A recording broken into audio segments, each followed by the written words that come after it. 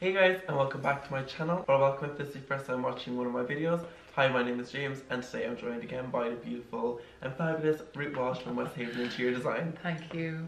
Today we're going to be running through our top picks for 2019. for 2019 exactly words out of my mouth um, these are just kind of in instagram profiles magazines pieces that we've seen that we like just different kind of like furnishings and interior design that we are obsessed with at the minute and the reason i'm doing it for 2019 is because you know it'll probably change again our It changes all the time, but it's also what's now, what's Mm. what you can do within your budget that doesn't have to cost an absolute fortune, but change the whole look very quickly. It's crazy though because there is so many affordable shops out there that offer the same beautiful stuff as a designer would, Mhm. but for less the price. Yeah, absolutely. You know, and some of it's good quality as well. Uh, it mostly is, Yeah. but you don't even have to go buying stuff. Even just changing your space, as we discussed earlier, with paneling, wallpaper. Mhm, yes. My favorite thing ever. Yeah, wallpaper. You can't go wrong. Well, you can't go wrong with wallpaper. You so can't go wrong with wallpaper, but not with wallpaper no. and paneling. No, Great. they're just like an iconic duo that it works the Oh, it does. Sometimes, yeah. I'm dying to do it. Anyway, I'll show you. That's another. That's another video. coming soon. But say so as I said, we're going to be talking about our favorite things in interior design at the minute, and you know because it's January or yeah January, I just thought we'd kick it off with our favorite things for it this year. So I want to start off with Instagram profiles. I know I'm obsessed with finding new designers to follow and ways to find new inspiration, and because it just gets me excited. So I have like a list of like my favorite Instagram profiles I follow, and if you're not following, you definitely should because their interiors are just like pure and utter like gold. I'm gonna start off with I have Architectural Digest. Obviously, like I mean, if you're not following them, do you do interior design? like they're like the creme of the creme, like celebrity homes. Stuff that isn't like just trending. It's like Georgian Victorian style Beautiful. renovations, like beautiful stuff. It's architecture as well, so it's just it fuels it. It just it's just yeah, it's Yeah. amazing. Like Yeah. so, you can subscribe to their uh, magazines as well, but that's like A lot of money. yeah. So it's just easy to follow them on Instagram, and you get the same inspiration just from pictures, and it's Yeah. amazing. Then also Luxe magazine. I Mhm. don't know if you follow them. Probably, if you told me to. Yeah. No, like I'll show you them. I am the last one to hit social media. James is going to help me out with that. That's something I need to improve on. It's called Luxe Interiors and Design. It's a magazine company. They're on Instagram, and they just post some really beautiful spaces, and you should definitely give them a follow. And then there's like more like interior design mag, Benjamin Moore and Farrow and Ball. Like Oh, following paints is really good because they kind of post it their paint in spaces, which is really cool because it gets you a better idea of what it will look like in your space. Do you like Ball? I do. There are there are other companies out. I like. Hmm, okay. I have to be careful Yeah. what I say here. Yeah. I do. I think people. it's expensive. It's really expensive. I've used it in the past and I painted over it. oh, really? Yeah, because the paint just didn't look right. So whether I don't know whether it's the walls in my house or whatever, but there's another new paint I came across the other day. Fabulous. Um, I don't have the name of it with me. I'll find it and I'll send it to you because I, I have to go and talk to the guy again. I'll overlap on the screen somewhere. Yeah, uh, I'll get to the name of it. I'll be in Castlebar tomorrow and it's in Irwin's Interiors. Is it? Better than Oh, well, I'll have to keep an eye out for that paint. Yeah. But also Benjamin Moore is a really good paint Yeah. as well. So it's like kind of has a grey tone, isn't it? The Farrow Ball paint. It has like kind of. I just think it's all very muted shades Yeah. and it's all very trendy. And I'm, Mhm. I, I just hate that word trendy. I hate. Yeah, yeah. And I'm sort of kind of going, oh, Farrow and Ball, great. Mhm. Where, I'm sorry, but Colourtrend have a fabulous collection of colours. The finish is really, really good. As we discovered, we Yeah. went paint shopping this morning. Great fun. Never and stop. never stops. But and how long did we spend talking about it before we went paint shopping?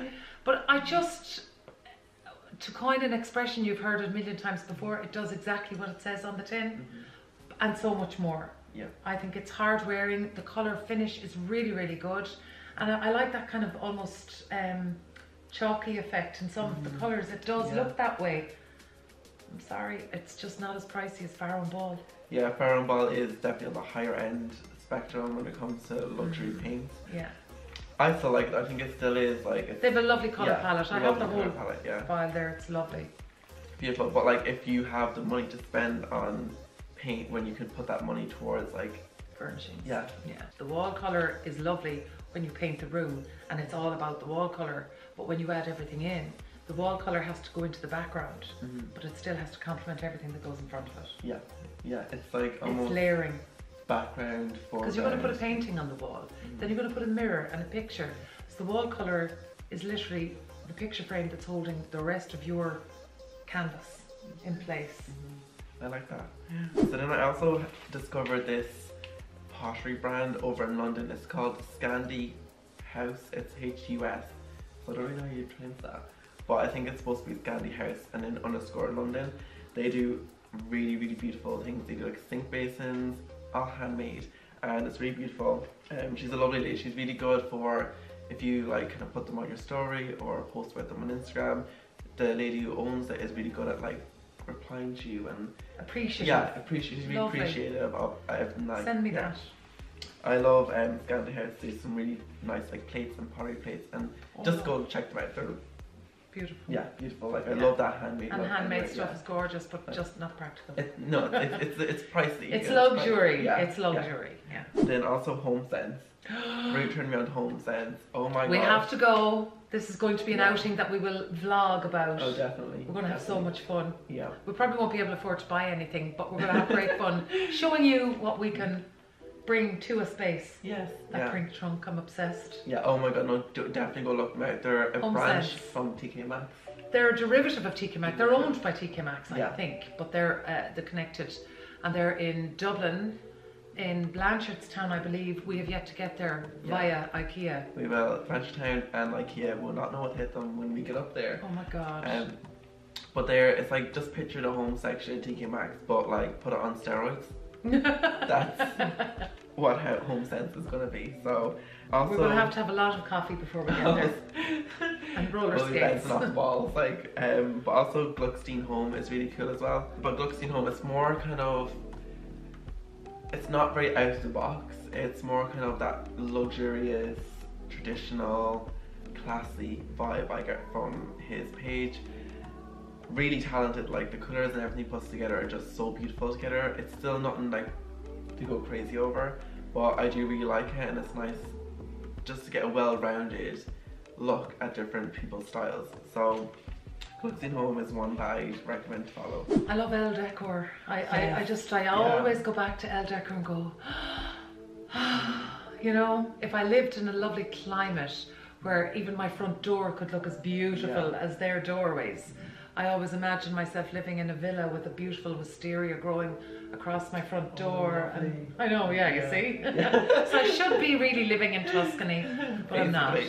But no, it's it's there, there's so many. I mean, but it's not even about following those. It's about just getting your inspiration from the magazines, walking in nature. I always we always talk Yeah. about that. I just I love going for a walk, especially where we live. And I mean, you go home and think, God, I could have put that there, and everything just changes with nature. It's always moving. It's always Yeah, changing. So yeah, with light and different yeah, absolutely, times of the day. ah, especially in the west of Ireland. Yeah, it's never Four same. seasons in one day. Never the same. But they're the Instagram pages that I would recommend you follow just for inspiration and just it's just nice to look at. Nice. Fresh ideas. Yeah, you know, it's nice to see. Then magazines I'd recommend you follow or subscribe to or whatever because magazines they do run up if you get a few of them every month. So you don't need to get all of them. I mean, you can pick them up in the shop. Well, if you're getting like you know, whatever. Yeah, you know, it's nice to Just have. one every so often. Elle Decor is my favourite You of don't all. need to get them every month. Um, that's my top one actually, Elle Decor. Oh, stop. Yeah. Um, it's just so like. Get the international one as well, you know, the American version. It's just not like the same thing. It's always different. Like there's something for everyone's style in there, Yeah. and like it's not. They kind of post put some like fashion prints in them as well, Yeah. which is really cool. So it just kind of merges the two worlds together, which is really exciting. Also, Vogue Living. I really love Vogue Living. I don't have their magazine recently, but I do follow them on Instagram, and it's just amazing. Like it's Yeah. just so exciting to see.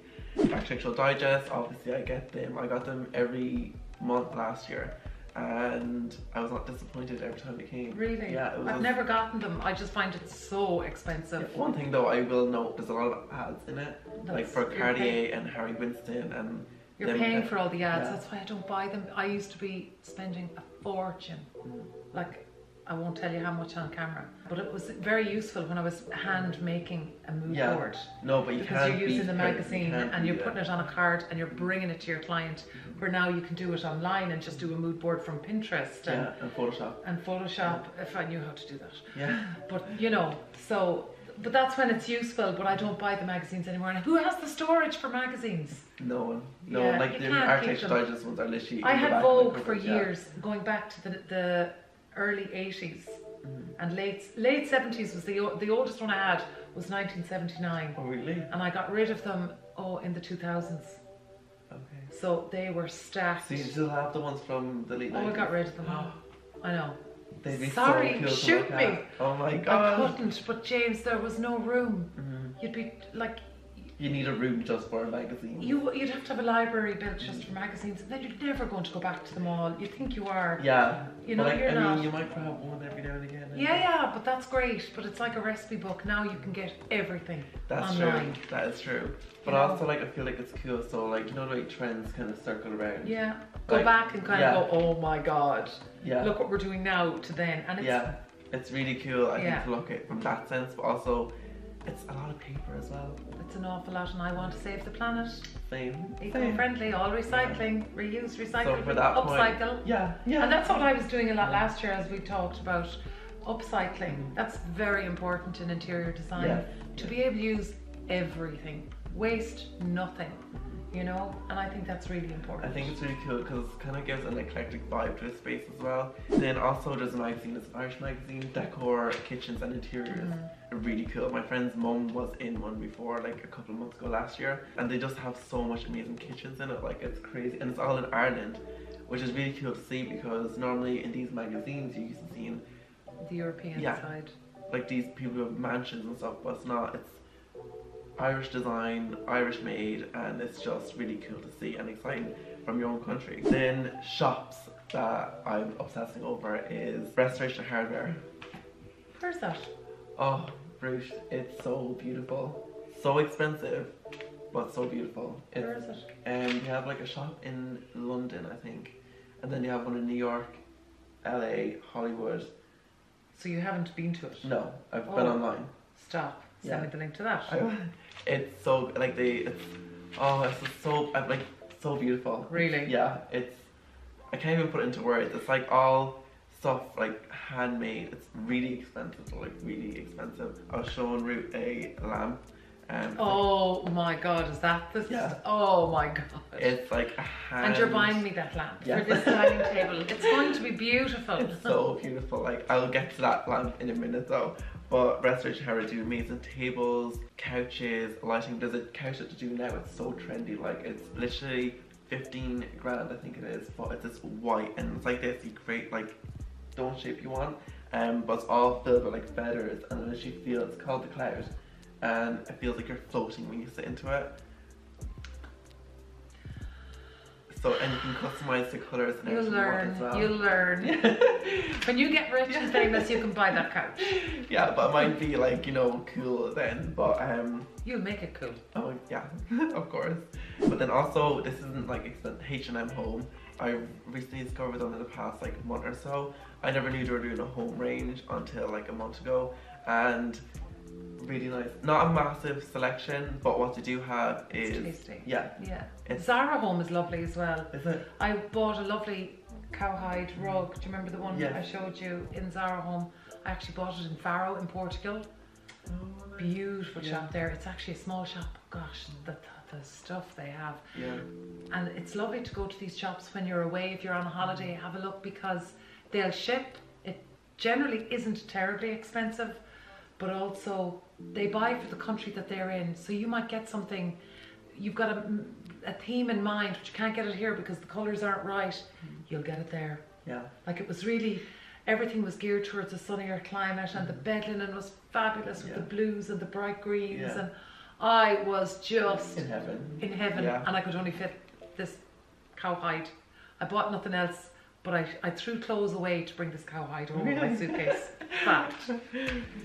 Um, but yes, there's another thing like you know these high street shops. Some of them overpriced. their items like River Island. Oh my god, like literally Oh, just ridiculous. seventy euro for a cushion that's mass produced and it's You can for- buy a TK yeah. Maxx for 20. Yeah, like if it was handmade, like craft shop cushion, you know, you wouldn't feel that bad paying that much Mm. for a cushion. But the fact that it's River Island and it's mass produced all over the world. Like, These are hand, this is a hand painted cushion.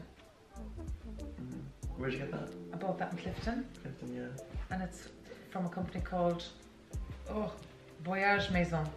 Voyage Maison. I'll put that over the screen. But yeah, it just shows like you know that I don't shop in River Island for furniture because I don't want to go spending seventy euro on a throw throw blanket when I can get the same one in The Linen Mill yeah, in Westport. which is all hand woven.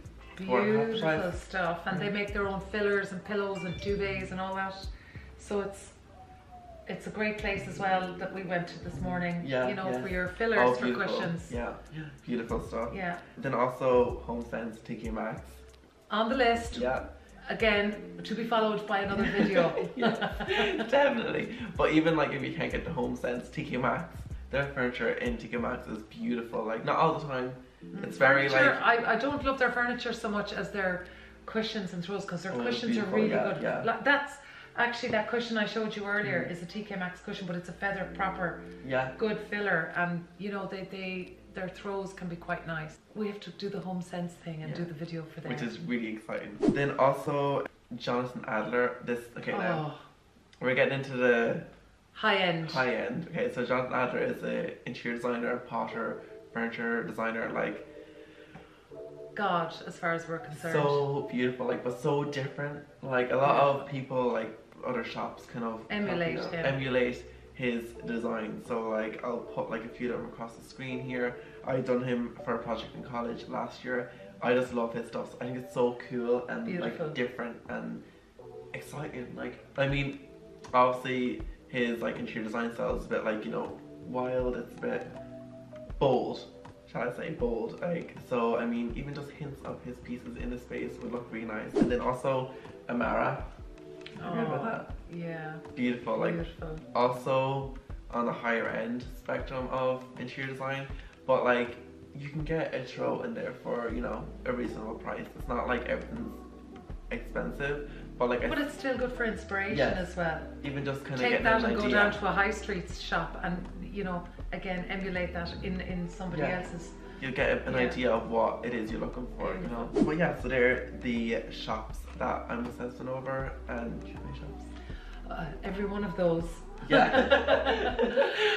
I I love going. You know when you're in Dublin, just even walking down the the high the main street and looking in the shop windows, even jewelry shops. The displays. I'm big onto the display and the Yes. merchandising, the way stuff is merchandised. So it's always nice to see the way the bigger stores, Brown Thomas and any of these Oh, shops, stop. merchandise because you can incorporate that. They'll use an armchair. Or they'll. It's it's all part of it. It's we're like magpies Yeah. basically. Just- Engine design rate and think straight towards it. yeah. That's our top picks for 2019. You know, this hopefully this inspired you, made you get you know a bit of inspiration for your spaces if you're remodeling. Or if not, just call us. Yeah, and We'll we'll, do it for you. you. but anyway, guys, this is the first episode of our monthly design talk. This only started out as one, by the way. now I'm enlisted for 12, so For there's 11 more. There's 11 more to How did that happen? Well, you know, it just just happens. It know? just evolves. Yeah, but I really hope you enjoyed. Please like, comment, and subscribe, and also hit that little notification bell just so you're notified for the next one that comes up next month. We'll be talking paint, color schemes, mood boards, furniture, interior design. We'll be talking about everything. So at the end of this year, you'll be well sorted to design your own space. Add a comment if you've any questions for the next video for either of us. Put up your question and we'll try and answer it on, on our next video as well. Wouldn't that be a good idea? That'd be a really good idea, yeah. Let's get interactive, people. anyway, guys, I really enjoyed. So I'll see you guys. In, we we will see you guys in the next one. Bye. Bye.